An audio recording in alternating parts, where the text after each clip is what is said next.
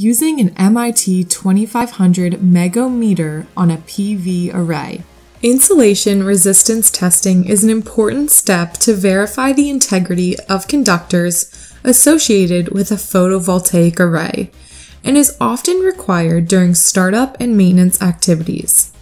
Due to a wide range of testing voltages from 50 volts to 2500 volts, the Megger MIT 2500 is the perfect tool for residential, commercial, industrial rooftops, as well as large scale ground mount applications. It can be challenging for crews to meet standard protocols in maintenance, commissioning, and daily troubleshooting, but the MIT 2500 allows you to meet these requirements with ease.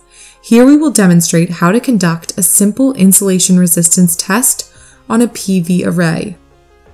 After you isolate all of your electronics and PV modules, you can use the tool to test any conductors above and below ground associated with your PV system. Simply attach the tool's negative lead to ground and the positive lead to the conductor you are testing. The MIT 2500 also includes a unique guard terminal, which allows you to avoid inaccurate diagnostic results from surface leakage currents by connecting the guard terminal to a bare wire wrapped around the surface of the object under test.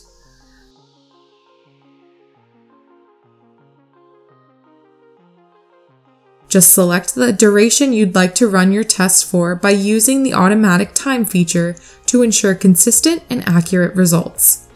Then simply press the test button, and after your selected duration, the onboard display will clearly indicate a pass or fail result. To simplify the testing process even more, the tool comes with Bluetooth and pairing capabilities. After your test runs, you can easily upload the results to a computer to document and report the data to your team. The MIT 2500 is a versatile and easy to use tool to test your PV system. To purchase a unit and find more in depth resources and demos, including analyzing the results of your tests, visit our website today